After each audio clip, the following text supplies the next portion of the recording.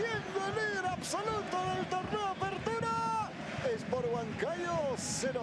Qué buen servicio, cómo ataca, cómo va a buscar el balón, lo habíamos repetido a lo largo de la transmisión, la intención en el balón ofensivo, cómo ganaba Ignacio da Silva y le dijo a Mifflin Bermúdez